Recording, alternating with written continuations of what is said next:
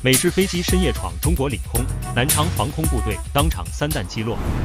一九六二年九月九日晚，随着三声导弹炮响，一架美制 U 二侦察机直直地坠落到了南昌的罗家集附近，而机上的唯一一名飞行员在跳伞后被俘，但由于伤势太重，哪怕是抢救也没能救回性命，最终死亡。很快，这个消息就传遍了国际社会，各国都瞪大了眼睛。他们无法想象，一个刚刚组建防空部队的国家，竟然可以轻而易举地干掉美国的 U 二侦察机，这实在是太牛了。美国的 U 二侦察机还有一个别名叫黑寡妇，之所以叫这个名字，是因为它可以不分昼夜地，在两万一千三百三十六米的高空执行全天候的侦察任务。可就是这么一架战机，就这么轻松地被中国解决了，外国岂能不吃惊？事实上，在这场空战当中，我军那是运用了大智慧。一九六一年，在美国的支持下，蒋介石手底下的空军成立了黑猫中队，开始使用美制 U 二侦察机对大陆进行疯狂的窥探。当时我国正在发展核事业，于是这支中队最常到访的地方就是大西北，一月三次，那是次次不落。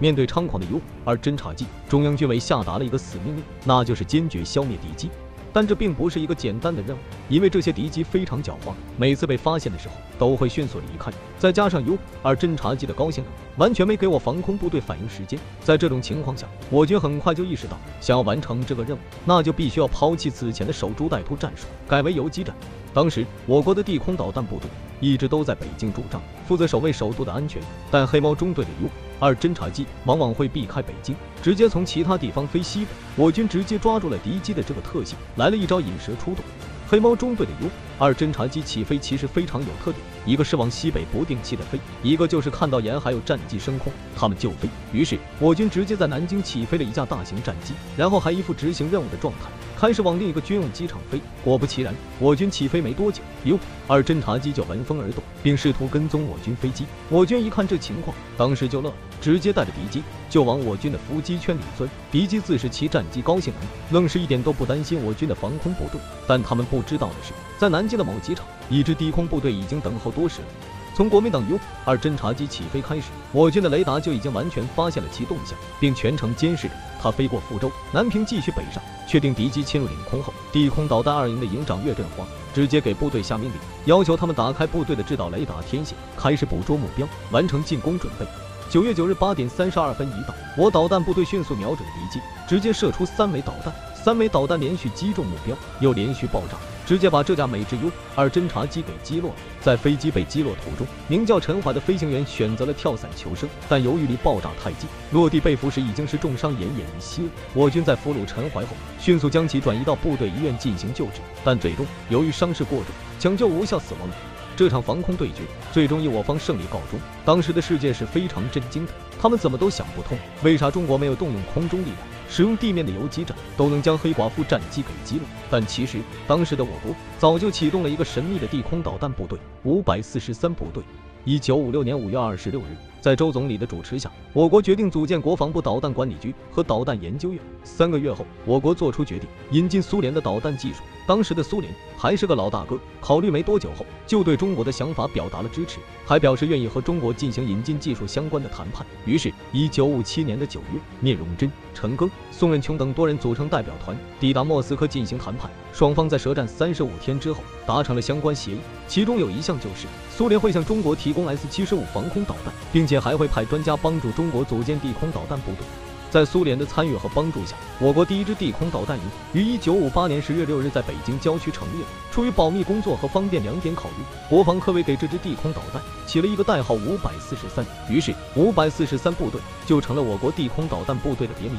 就在一营成立不到三个月之内，我国继续进口地空导弹，成功加建两个营，一营和二营都在北京，而三营则在南京。他们都有一个共同的任务，那就是保卫中国的领空安全。很快，一营的全体将士开始接受苏联导弹营一对一的指导。同时，在和苏联专家商讨后，二营和三营的连级以上的干部纷纷到场旁听，就是为了更快地掌握专业技能，更快地投入实弹。但是，苏联方面为了防止技术泄密，所有学员们进出课堂都不能携带笔记本，课后想复习只能靠自己的记忆。但就是在这种苛刻的学习条件下，我军将士们用了四个月的时间就掌握了全部的导弹技术，并且进行了实弹训练。一九五九年四月十九日，一营成功操作导弹击落了八千米高空掉下的伞把。而这一次的实弹射击结束后，苏联专家心里只有一个想法，那就是中国人已经熟练地掌握了地空导弹的发射技术。此后，苏联专家撤走，中国地空导弹营开始进入实战模式。一九五九年十月一日，对于中国来说，这是个大日子。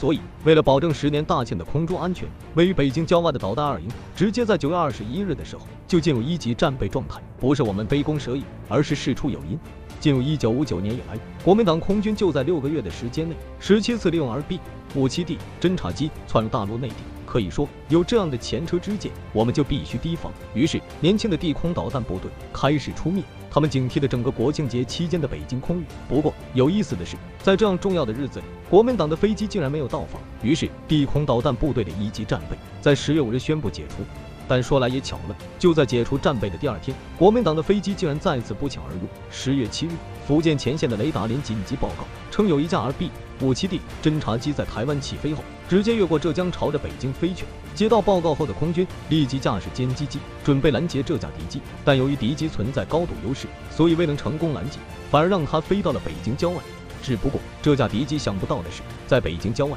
新生的导弹部队正做好了一切准备，要击落来犯之敌。十一点十五分时，二营发现敌机距他们所在的位置仅有四百八十千米，于是二营进入战斗状态。紧接着，十二点零四分赶到，敌机就进入了二营的攻击部队。营长岳振华当即下达命令，向二十八公里外的敌机发射炮弹。紧接着，众人就听到三声巨响，同时看到了爆炸产生的火花。就这样，我地空导弹部队漂亮的完成了首次实战。值得一提的是，这场实战其实发生在我导弹部队刚刚成立一年之际，而这一次的漂亮击落，也开创了世界上首利用地空导弹击落飞机的先例。不过，让我导弹部队想不通的是，国民党方面明明已经见识过了地空导弹的威力和我军将士们的技术，却仍旧妄图侵入大陆空域。更有意思的是，国民党方面或许是觉得 RB 五七 D 侦察机被击落是飞机不行，于是此后的他们启用美国的 U 二侦察机，妄图继续侵入大陆领空。但最后的事实证明，只要战术运动得当，不管是什么样的侦察机，都会被我导弹部队干掉。